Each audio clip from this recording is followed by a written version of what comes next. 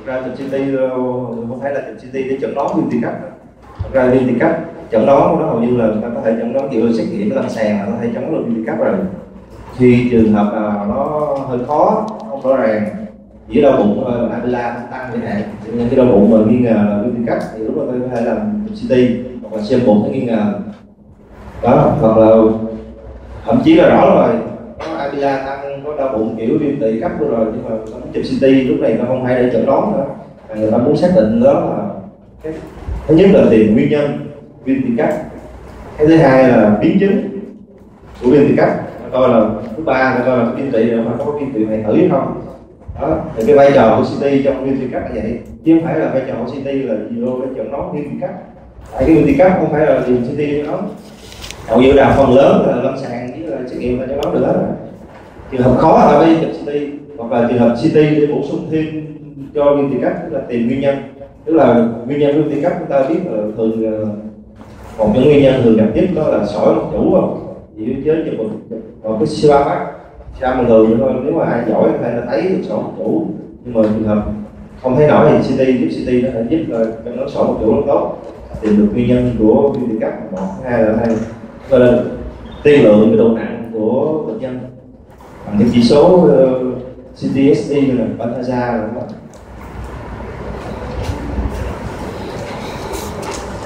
đây chúng ta thấy đây một cái vị cái lá cắt hay là hầu như là rất đẹp và thấy nó gần như hết cái vị rồi. Đầu thân rồi đuôi vị thì bình thường á cái vị này là cái vị bình thường có thấy. Quanh nó là lớp mỡ mỡ màu đen. Vị là lúc là có cuốn màu trắng. Thì cái độ sắc nét giữa hai bên thấy rất là rõ không thấy từ từ hay là gọi từ đường da chứ là sạch. Tức là màu mỡ xung quanh nó sạch. Đen cùi rồi, không nhất. Đó chúng ta nhìn cái bình thường chứ đi nhìn cái bất thường chúng ta thấy nó bất thường đó. Nó đều có vị bình thường. Giữa nói lớp mỡ xung quanh nó rất là sắc nét cái bờ rất sắc nét. Đó. Đây là mình làm chương trình cấp. Cho thấy là hầu như là cái lúc dịch dịch xung quanh luôn rồi và đặc biệt tiêu tiền thì nó khi mà có dịch thì nó sẽ lan ra mấy cái rãnh sau hút mạc của nó đặc biệt là hai cái cái rãnh mà gặp nhất là cái rãnh quanh cạnh thận trước trước hai bên cạnh thận trước. Đây là khoan quanh thận màu đen là quanh thận này quanh cạnh thận trước. Nó xuống khoan này nó đi xuống cái rãnh phía sau đại tràng đó, đó là cái hướng lan như của viêm cấp dịch của nó đó để lan hướng sang hút mạc á.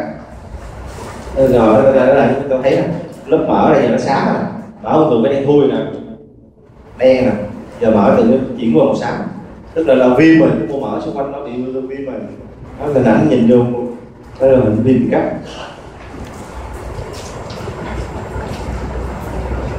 Đó, như hình này, thấy cái tỵ này nó lớn hơn cái nãy không cái tỵ lớn. Nhưng mà được cái là bắt thuốc trọng nhất là dịch quanh tị. Dịch để màu xám xám. Dịch với lại viêm quanh tị. Còn nếu là bình thường là nếu mà bình thường nó phải đen cái nào mà lúc mở qua thận này thì nó xám mà chỉ qua màu xám mà thì đây là hình ảnh viêm tỳ chúng ta nhìn nữa thấy dịch nó chạy lên xuống cái rãnh này nè. Là dịch từ đuôi nó chạy ra nó chạy xuống. Quay cạnh thận trước trái nè. Đó là cạnh thận trước trái. Dịch nó lên xuống. Còn trường hợp này thì hầu như là không thấy cái tị đâu đó tức là một trường hợp riêng tỵ phải thử lúc bạn hầu như nguyên cái tị nó còn lại cái cú xíu chắc chắn này là cái, cái, cái, mô tỵ bình thường còn lại là nguyên cái này là nó phải tử là ờ, trường hợp là viêm tỵ hoại tử thì trong viêm tỵ cấp thì người ta còn đánh đánh điểm số Balthazar CTSD nữa thì cái đó nó mang tính chất luôn nó hơi sâu hơn xíu. Cái đó anh không có giới thiệu lắm ví dụ hay người ta hay đọc rồi Balthazar máy CTSD nhiêu á thì nó tùy ví dụ bên hay đọc Balthazar nó chìm năm độ bên CDE ví dụ bên E này bác sĩ cho nó đánh đọc Balthazar E tức là ý nói là có tụ dịch viêm tỳ cấp mà có tụ dịch. Hai khoang hai khoang trong ổ bụng. Rồi E ví dụ D là một khoang rồi còn ví dụ hại tử á, thì nó cũng cho điểm ví dụ nó chia tỷ ờ, ba mươi, hoại tử ba mươi phần trăm, ba mươi đến năm mươi phần trăm và trên năm mươi phần trăm. Ví dụ dưới ba mươi phần trăm hại tử dưới 10 phần trăm cho hai điểm. 30 đến 50 cho 4 điểm và trên 50 phần trăm cho 6 điểm. Nó cộng lại với là 4 điểm của Bantasa từ ờ, BCDE đó. B là điểm C là hai DL3E4 cộng lại hai nó cộng lại. Nó ra số điểm.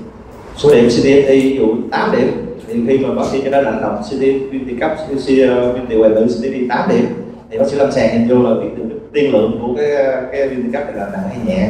À, cái hai là mình hay nghe cái đi lâm sàng nghe cái chỉ số là CPSD Pantaza đó. Đó là biết thêm thôi. Đó là dấu hiệu tiên lượng của viên viêm cấp. Thì một cái ờ, uh, viêm tụy cấp viêm tụy cấp và ví dụ mà sau 4 tuần viêm tụy cấp thì có tụ dịch bên tụy rồi sau 4 tuần thường tụy dịch nó sẽ hấp thu hết. Nhưng mà sau 4 tuần nó hấp thu nó sẽ tạo ra khu trú là tạo ra cái nang thì đó gọi người ta gọi là nang giả tụy tụy là một cái tụ dịch bên tụy cấp mà nó không hấp thu hết sau sau 4 tuần nó tạo ra cái nang giả tụy và mình điều đó ý nó nói cái nang giả tụy tức là là tình trạng bệnh nhân trước đó là cái viêm tụy cấp thể nhẹ chứ không phải là viêm tiền hoại tử.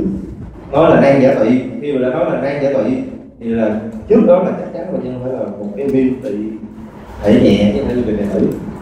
Viêm tụy thành tử thì nó không dùng từ nang giả tụy, nó dùng từ một cái hoại tử tạo thành.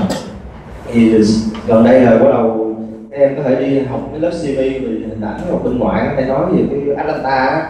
Biết gì Atlanta không? nghe cái từ Atlanta bên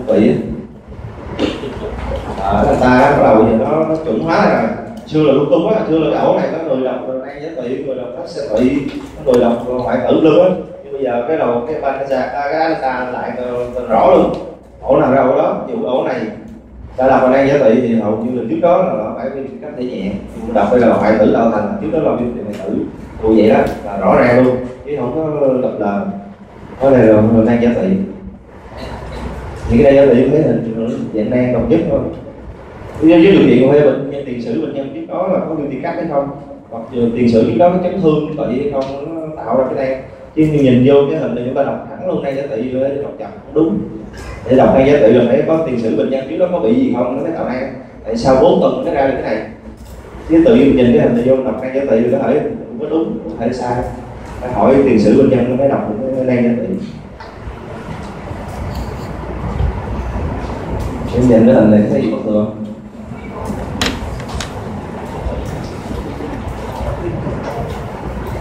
không bây giờ chửi đây. Mấy này cái dạng hình cũng điển hình á. Mốt có đi lên sàn có thấy nhìn này rồi nó bạn gợi ý rồi. Trong đó nó đã là viêm cấp hoặc là viêm tỳ mãn viêm tỳ mãn thì thường nó ngược cấp cấp thì nó viêm tỳ cấp là tỳ bự ra. Tỳ mãn thì cái tỳ nó sẽ đeo lại. Nó sẽ đóng vôi, đây là đóng vôi của vị hoặc là sỏi tỳ á. Đó. Có thể nó kèm theo dạng học tỳ đó. Hình ảnh đây là cái hình ảnh phim bị mãn điển hình. Ta nhìn cái tỳ tôi thấy mà đóng voi gì thậm chí chúng ta nhìn những cái phim uh, quang bụng đứng á mà phía trước cuộc sống tôi thấy có cái hình xéo và cái mà đóng voi xéo và vùng tự bị á có thể là có cái phim bị mãn đóng voi hay gợi ý một cái phim bị thay chụp tay chẳng đón được trên cái hình uh, quen quang bụng đứng không chiếu sàn đây cái hình CT cái hình CT điển hình của cái phim bị mãn thì tụy nó đeo nhỏ đóng voi và ờ, sẽ có cái dạng ống tụy trong đó. Đó là hai cái bệnh thường gặp nhất. Là viêm tụy cấp. Rồi cái u tụy. U tụy thì cái, trong nhóm u tụy nó biết là chia làm hai nhóm mà thường gặp nhất là u tụy ngoại tiết u tụy nội tiết. Thì trong u tụy á nói chung luôn á hầu như là u tụy là cái u tụy ác tính là gặp gần như là trong nhóm u tụy ngoại tiết là ông này chiếm gần như là chín mươi phần trăm. Hầu như là, là adenocarcinoma là u ống tuyến carcinoma ống tuyến ờ, tụy á là nhóm u tụy nội tiết là hầu như là chín chín phần chín phần trăm là hầu như nó gặp thua tụy là phần lớn là như là ác tính. Cái tỷ lệ sống sau năm năm nó rất là thấp. Đó là tập trung nhiều cái ô cái u gặp gặp nhất là cái ai từ đâu. Thì cái u tụy này là phần lớn nó sẽ gặp ở vùng đầu tụy thì trên phim trên phim thuốc cũng vậy cũng giống trong mô gan thì tùy cái, cái thành phần của cái mô nó có thể là giảm đậm độ và đồng đậm độ của tụy hoặc là độc độ cao của tụy nó có xuất huyết trong một nó coi tùy cái đậm độ đó cái đậm độ nó sẽ thay đổi chứ không phải nhất thiết là u phải giảm đậm độ. Nó tùy. Điều đặc biệt của cái u tủy á là nó hấp kém nó, nó, nó, nó nghèo mạch máu. Tức là vô một cái tỵ khi mà tiêm thuốc vô thì nó sẽ bắt thuốc rất mạnh. Thì cái u tỵ thì nó sẽ ngược lại. Khi có u cái u lên nó sẽ nó, nó nghèo mạch máu thì nó sẽ hình nó hiện lên sao? Nó sẽ đen hơn với cái mô tỵ đúng không? Thì nó bắt ít mà. Mô tỵ bình thường hút thuốc cam quen vô hàng nào mà ngắm thuốc cam quen càng nhiều thì nó sẽ càng trắng tại thuốc cam quen là nó màu trắng. Thì nó cái tạng nào mà ngắm càng nhiều vô thì nó sẽ càng màu trắng hiện lên. Những cái u tỵ thì nó ngắm nó bắt thuốc kém. Nó ngày mạch máu thì không ngắm bao nhiêu lượng thì nó sẽ màu đen. Nó sẽ màu đen so với vô vị. Nó là con cũng đặc trưng của cái thằng các vị đó tôi thấy là một cái tổn thương u đồ tỵ giờ nó hình lớp cái thuốc rồi. Những cái u. đấy u của đầu tỵ nó gây giãn được vật trong gan trong ngoài gan bọc hết luôn. Và đặc biệt là cái vai trò của CD á nhiều khi không phải chỉ cho nó u tỵ không đó nhiều khi ta phân giai đoạn đó. Phân giai đoạn là cái khả năng báo cho bác sĩ lâm sàng là có khả năng cắt bỏ được u hay không. Tức là mình dựa vô, đặc biệt là dựa vô cái đánh giá cái xâm lấn mạch máu, đặc biệt là xâm lấn cái hai cái động mạch, quan trọng là động mạch thâm tạng cái động mạch mạch treo trên gần đó đánh giá xâm lấn? Tức, tức là nó, nó định nghĩa là xâm lấn là khi, khi nào? Tức là nó bao bọc. Cái cục đó nó bọc quanh cái mạch máu trong chu vi mạch máu là 360 độ nó bọc trên 180 độ thì ta coi như là, là xâm lấn. Nếu mà dưới 180 là chưa xong. Chưa nói dù trường hợp này này thì cái u đầu tỵ đúng u do giá đây là tập là tĩnh mạch mà treo trên đây là động mạch thì thấy là hầu như nó bọc. Nó bọc gần như trên trăm tám này cái phần đen đen là bình thường là mô mở là bình thường. Còn đây là mô u này nó bọc cái này như trường hợp này chúng ta gọi độc là cái xâm lấn luôn mạch máu rồi. Đó là đi sâu vô một chút. Còn còn độc thì u để chọn nó u không thì với cái hình ảnh nói tức là cái tụy bình thường nó bắt hút rất mạnh. Giống như này mấy cái hình tụy bình thường cho coi đó còn nó u lên nó bắt hút kém nè. Sáng sáng đen thui nè. Đó là cái u tụy hầu như những cái u gì là, là phần lớn 95 phần trăm đó là cái adenocarcinoma còn ngoài ra đó là những u ác tính và những u nổi tiếng mà thường gặp nhất đó. đi đi đây nghe nói insulinoma này ngoài là những u vào máu. Chúng thấy bắt rất là mạnh. Có mô tỵ bình thường nó phải bắt cái gì nè? Khi mà có cái u adenocarcinoma là nó sẽ bắt kém nó đen hơn. Có một cục nằm đây là đen hơn. Đó là giới thiệu trực tiếp. Dù mà những cái u mà ngoài ra ngoài chúng ta coi cục u nó có, có dạng ống tị không có dạng một chủ hay không nó yếu cái tố phụ nữa ở còn về chung là cái u ca tụy sẽ bắt kém, còn cái thằng insulinoma là sẽ bắt thuốc rất mạnh. Và với điều kiện cái này phải có trên lâm sàng, có triệu chứng đó, để ý có hài đường huyết á insulinoma đó. Chụp, cho nó đã là biết, người vô biết vị trí cái cắt nó là xong, thế là cải thiện triệu chứng rất là ngoại một không theo tự đầu biết là đề cập duy nhất. Thì chấn thương tụy thì cũng giống như chấn thương gan như dập rách vỡ dập xuất huyết hơn nó cũng cái, cái hình cái cách nói nó cũng đi chen vậy.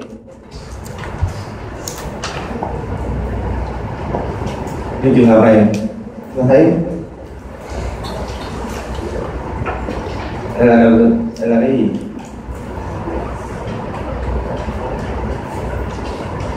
Tĩnh mạch cỡ là chỗ hợp lưu á. Hay là cái thân tỵ hay là hợp lưu thì đây qua qua đây là cái đầu bị chứ không thấy giữa cái thân với cái đầu đó tự có một cái bình đen đây. Thì đây là nó bị một cái nó vỡ cái thân tỵ mất liên tục nè tỵ đang đang cắn nó phải liên tục qua đây. Thì có cái đường cái đường làm độ dịch mà nằm xen giữa vô hai cái thân với cái cái đầu. Thì này nó là cái, một cái chấn thương tỵ mà nó vỡ vỡ cái thân tỵ rồi à. thì cái trường hợp này chúng ta thấy đặc biệt cái nữa. Là đây là cái đầu tỵ đúng không? Có mạch mặt treo nè động mạch tĩnh mạch đầu vị thì sát bên đầu vị là cái gì? Tá tràng đúng không? D, d hai. Chúng thấy đây có cái vùng thường đây là cái cái, cái hơi tự do. Tức là nó chấn thương này nó kèm theo vỡ tá tràng thôi. Nó có tụ khí hơi tự do. À, thì cái này ngoài là vỡ thân vỡ thân vị nó còn có vỡ tá tràng nữa. Tụ khí sao cũng màng. Cạnh cái cái d hai tá tràng đó. Đây là cái hình chưa tiêm thuốc. Mình nhìn vô thấy, thấy gì không? Thấy dễ không? Nhưng mà nhìn kỹ rồi thử rồi thấy có gì bất thường không?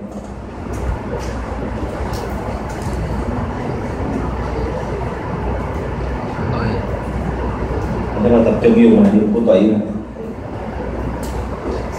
chúng ta thấy nhìn cái đồng độ có gì bất thường Dạ, không Dù gia xử lý là cái đô thị đi. Thấy bất thường không? Ta nhìn cái cái này màu trắng, hơi có vẻ hơi trắng trắng. Con này đen. Có lẽ nó phải đồng nhất. Cái tụy bình thường nó phải đồng nhất. Còn cái trắng này là gì? Cái đậm độ này mà nó giống cái hơi cao cao này là giống máu mà trên nhân bị chấn thương nữa. Thì cái khả năng cái này nó có thể nó bị cái rách vỡ tụy này nó tụ máu này nè. Đó. Chỉ là thuốc thì thuốc vô những con ta sẽ thấy rõ không nếu không tiêm thuốc thì không biết nó là cái gì nữa. Tiêm thuốc cho thấy là cái đầu bị bình thường. Phân bị đầu như là nó tụ máu rồi. Nó rách vỡ rồi chặt vỡ rồi. Mất liên tục luôn cái cái đô tỵ rồi. Đó. đây là cái cục này là cái đứng này cũng là máu nó, nó vỡ nó tụ máu không máu này. Tức là không có thuốc nữa. Thì đọc cũng rất là dễ thôi đọc mấy cái chấn thương đi đọc không có khó nó chỉ khó là mình đọc sót thôi. Cái mình rất dễ đọc sót tại các mình đang ờ, lọc chấn thương bụng ra còn nhìn cái ghe cái lát còn cái tạng bự mà. Cái đầu này nằm đây ờ, nên ra còn đọc sáu là chỉ có đó vậy thì nếu mình chú ý đó đọc ra, tại đọc chấn thương tỵ không có thôi không được cái rà thôi tỵ đường tỵ nó bất thuốc mạnh, thì thấy ờ, trên nhân chấn thương mà thấy nó đây là trong độ dịch nặng đây đó.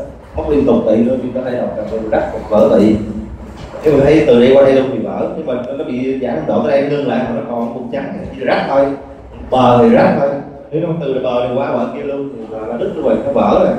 Nó qua mới nửa bờ thì đọc rách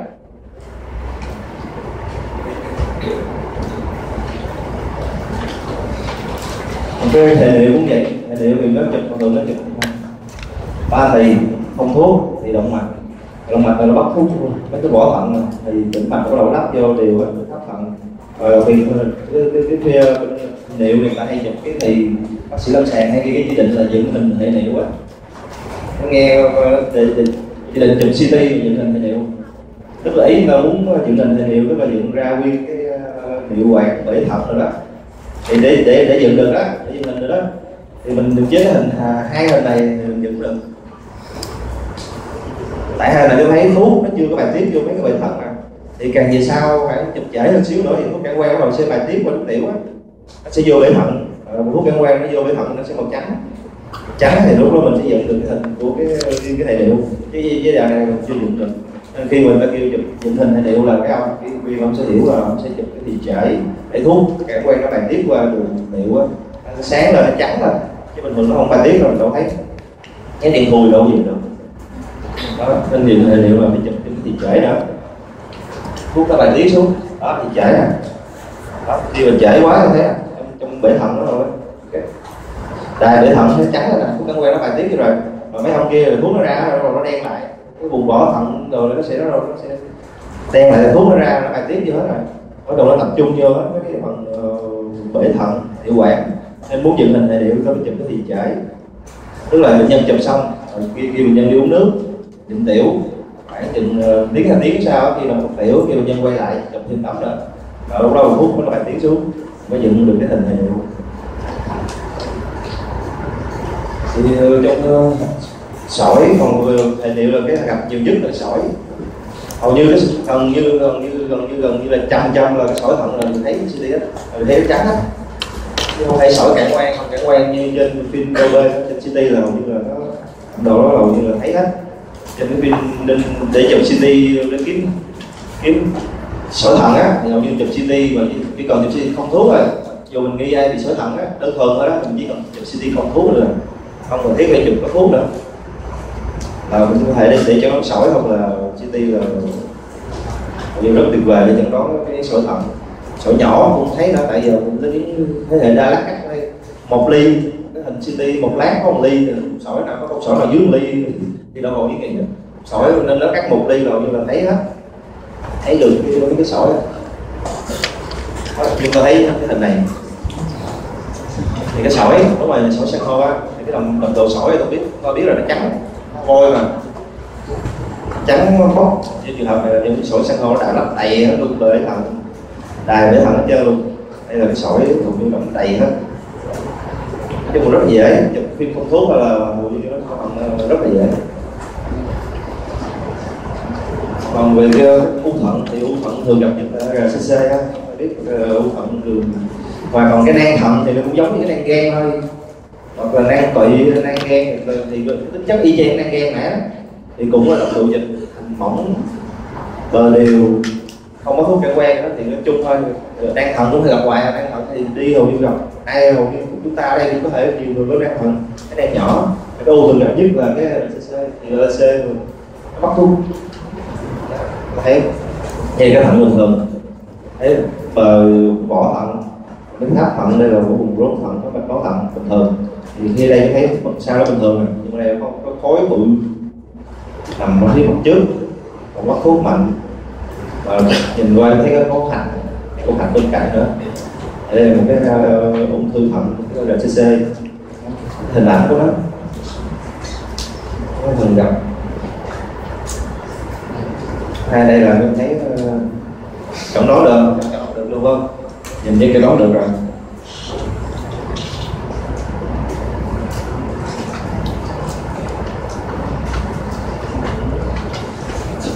bốn hình này trước cái làm đồ dịch, đúng không? Đầy hết đây là cái gan đầy hết luôn. Thận cũng vậy luôn. Đầy nang hết thận quá trời nang thì đây là cái ờ, gan thận đa nang không? Quá trời ờ, đồ dịch. Rất mỏng, không có thuốc có những không? Không hiện nang đồ dịch. Thì cái nang thận đơn thuần giả sử một cái nang thận đơn thuần thì nó cũng đồng đội với cái gan thôi. Có, còn cái u thận nãy thì nó phá vỡ cấu trúc bình thường đó chúng ta thấy nãy là nó phá vỡ không còn cấu trúc của vỏ thận tháp thận nữa mà nó xuyên cục luôn nó bắt thuốc lên hết thì đó là cái, cái, cái u thận nhưng mà cái nang thận trên CT cũng không ờ, không phải lúc nào nó có nồng độ thấp nữa nhưng trường hợp này thế thấy độ nó cao. Độ này chúng ta thấy giống cái gì?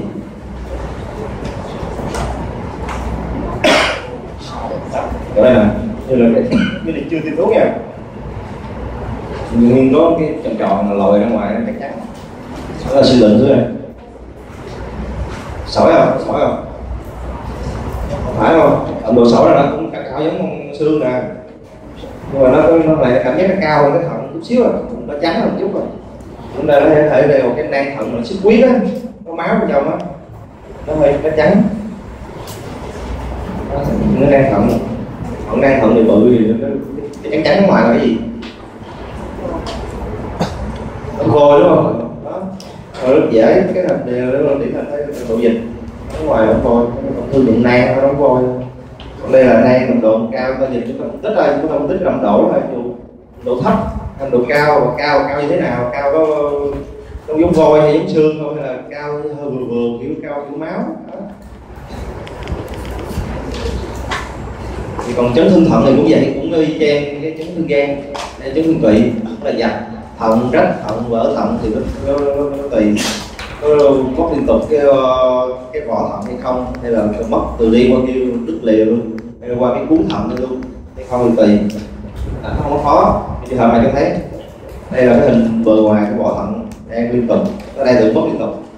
Có cái cộng cái đậm tụ dịch xen vô cộng thêm cái tụ máu dưới bao thận nữa tụ dịch dịch. Cái này là động hầu như ai động cũng được đúng không? Rồi rách thận rách thận nhìn tụ máu dưới mà thận rách thôi. Nó rách ở đây thôi nó nó, nó rách còn nó chạy qua đây luôn này là vỡ tới đây nó đứng lại thôi rách thôi. Đó đọc rất là dễ nói chung thì chấn thương thì là không có khó. Còn nếu thì biết hình ảnh này chúng ta đi các cứu trực là thấy hàng ngày à. ở trên hải là chúng thấy gì bất thường không? Nãy nhìn cũng nhiều đó thử nhìn thử là có gì bất thường không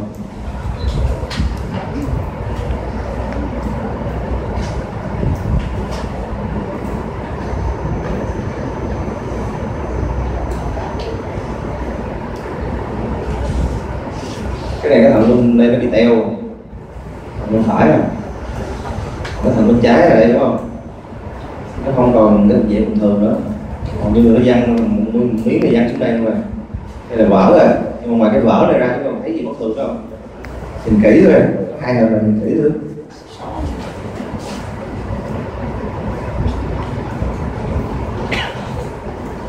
Này là này là gì canxi Thôi. Suy lượng thôi. Nãy giờ giờ suy lượng gì đập độ thôi. vôi Trắng nè.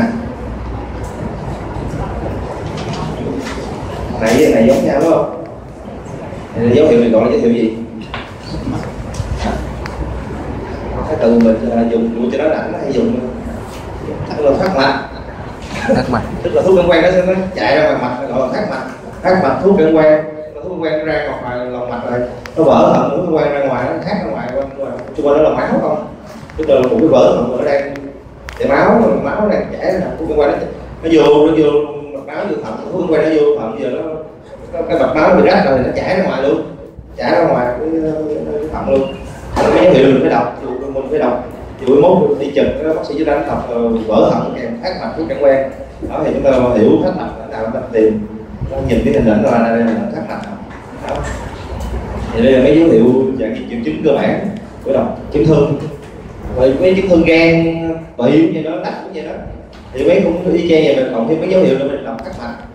Và nhiệm vụ trong trong trong, trong, trong đó mình phải chọn đó mình kiếm cái dấu thắt mạch trong ta. Cái này cũng tương tự dễ không thằng hầu như là mở mở miếng răng mở miếng rồi. Còn còn này còn ba ba miếng nó răng lì nó máu không. Thì phút này hầu như là mở thật này trường độc không có cái lách thì cái lách thì cũng vậy. Cái lách thì đặc biệt chúng ta có nhiều người nhìn không quen, đặc biệt là thậm chí mấy bác sĩ chưa đó mới học thì nó đánh luôn. Thôi nhìn không quen, chúng ta nhìn hình này hình này. Hình này có nhiều người có đọc u lắm. Chúng ta thấy hình này nó khác nhau sao?